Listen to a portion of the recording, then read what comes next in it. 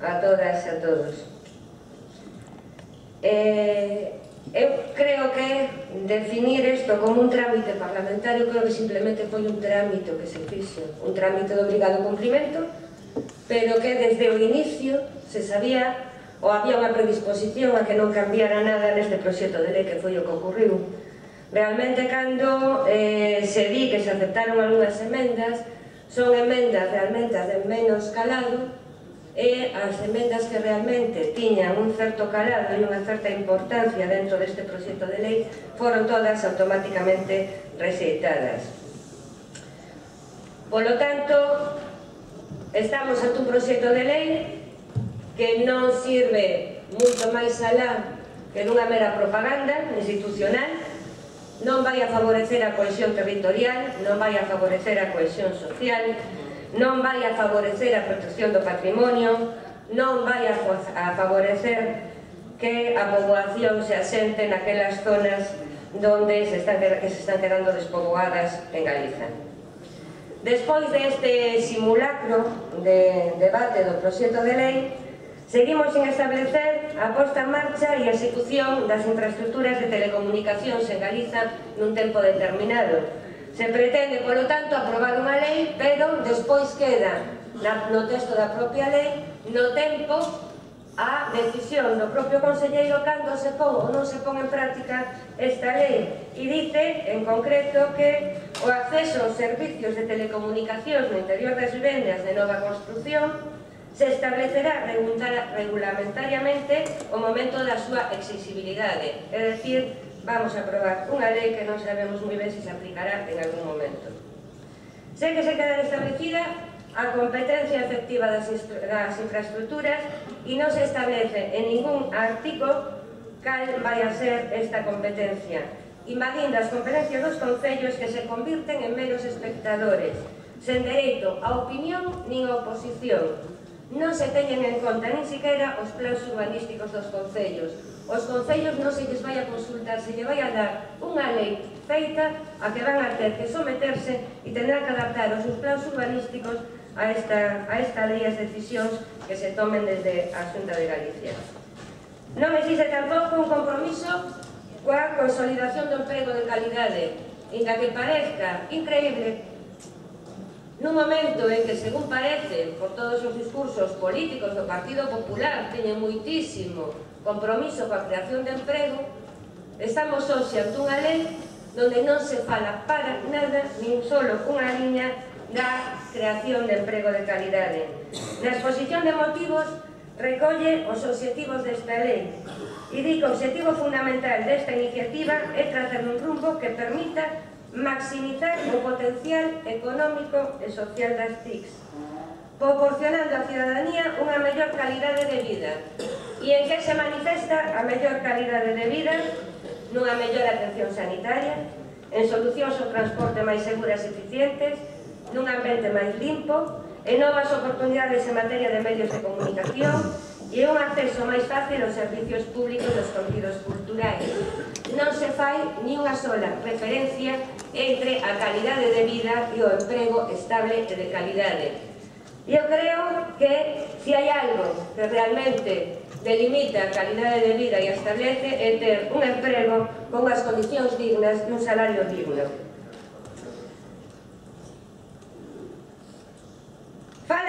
das oportunidades que ofrece a Sociedade de Información e non se fai ni unha sola referencia ás posibilidades en materia de educación, nin tampouco no de emprego, nin de formación profesional, nin de investigación. Estamos ante tecnoloxías da información, ante o último en información, ante os avances en información, e a xunta de Galicia se esquece de fomentar a investigación a través deste proxecto de lei.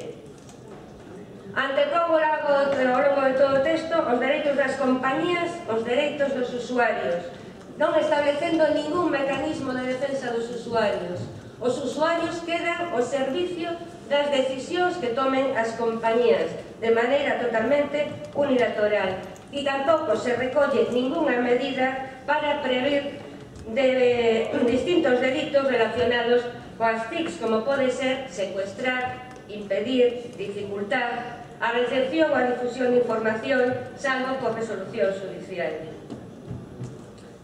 Tamén obvia a importancia das TICs en calquera aspecto da vida que non sea puramente comercial ou empresarial. Non recolle a importancia das TICs a nivel cultural, a nivel de relacións persoais, a nivel de formación, establecendo como única finalidade das TICs o fomento da competitividade. O fomento da competitividade. A non recoller os aspectos sociais das TICs, a lei é enganosa, xa que por un lado di que un dos objetivos fundamentais desta lei é a cohesión social de toda a sociedade galega, pero por outro lado establece que o prezo será o de libre mercado. Rexeitando a emenda presentada por Alternativa Galega de Esquerda de crear unha tarifa social que favorezca o acceso das TIC ás persoas con menos recursos. Debería, o noso entender, ser un objetivo fundamental desta lei garantir o acceso de toda a poboación a estas tecnoloxías como ferramentas útiles tanto no ámbito persoal como empresarial, polo que os prezos deberían estar suxeitos a unha tarifa social en función da capacidade económica dos usuarios e das usuarias.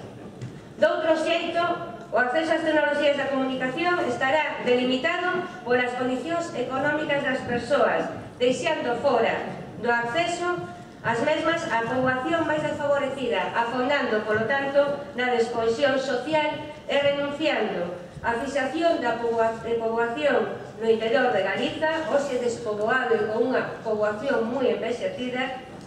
renunciando á creación de emprego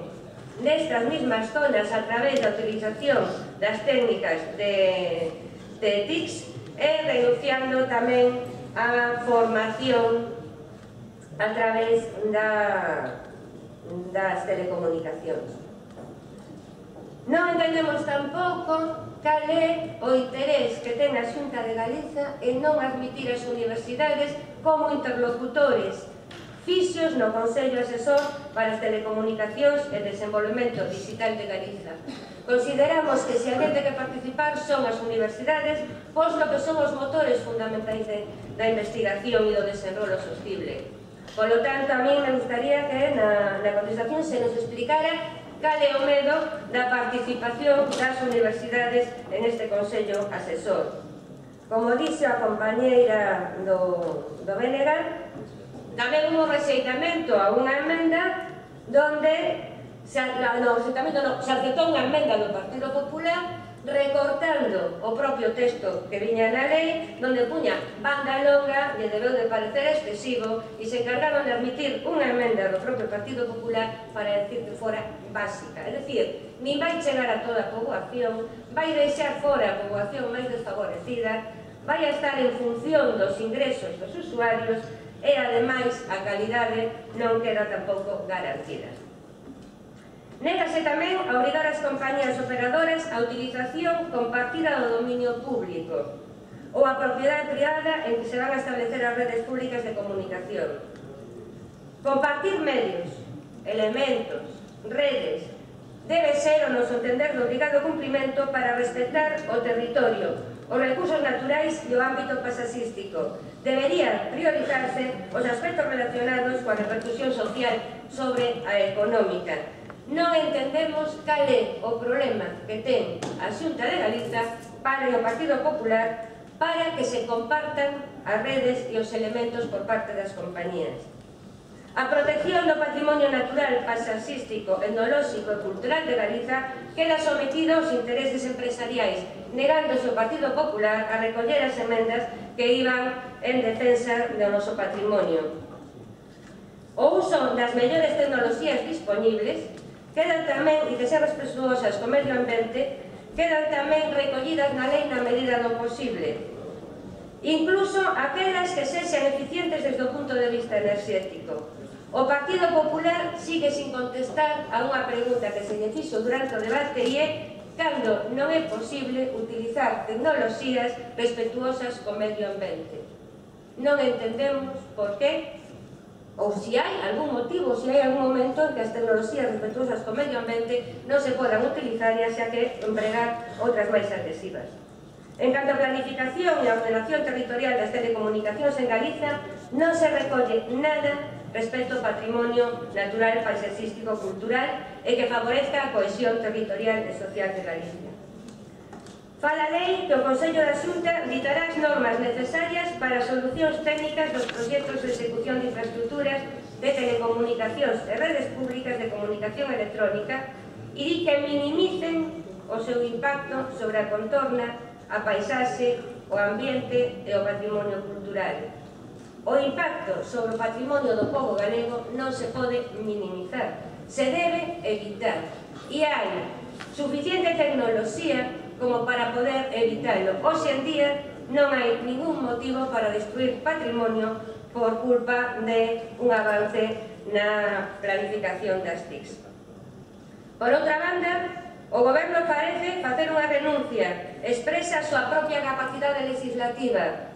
non incluindo en todo o texto ninguna referencia ni a legislación autonómica ni a legislación local en materia de telecomunicacións, en materia medioambiental e en materia do territorio ou do patrimonio, tendo como única normativa de referencia a legislación estatal, o cal entendemos que é unha cesión de dereitos e de obrigas ante o ámbito estatal. O texto do proxecto de lei di no seu articulado que non será exigible, e isto é, ao noso entender, gravísimo, o informe sobre o tipo de instalacións e infraestructuras que considera necesario un pouco antes. Primeiro se fala de que antes de eh, proceder a calquera instalación debe de haber un informe. Por outro lado, despois o que di é que ese informe non era tampouco necesario. Priman outra vez os intereses das empresas sobre os da sociedade para garantir os dereitos dos usuarios, da poboación en xeral e da protección do medio ambiente, o patrimonio galego e a saúde pública, a Xencia de Modernización Tecnolóxica e di, terá obriga de emitir un informe nun prazo de dous meses unha vez solicitada a instalación. Pero engade que, se si non hai informe, se entende favorable a instalación. Entendemos que de non haber un informe favorable se ten que entender desfavorable a instalación porque senón ao longo do tempo o que nos podemos topar son con unha rede de instalacións caótica que dañe o noso patrimonio natural, cultural, etnográfico, paisaxístico ou histórico de Galiza e que só dean resposta aos intereses das empresas e que non cumpla con ninguna, ningún dos objetivos que ten en relación aos intereses dos usuarios. Polo tanto, entendemos que esta lei non é máis unha propaganda, non ten data de inicio, se vai a ser unha lei que garanta unha calidade mínima, non protexe o noso patrimonio, e non dá acceso ás telecomunicacións a toda a poboación galega, sino que solo lle dá acceso a aqueles usuarios e usuarias que teñan condicións económicas para poder pagar o prezo de libre mercado. Non protege o patrimonio galego, invade as competencias dos, dos concellos, renuncia á legislación propa de Galicia en nome da legislación estatal e non regula ningún mecanismo de defensa dos usuarios ni de control das empresas. Por lo tanto, a Alternativa Galega de Esquerda non apoiará este proxecto de lei.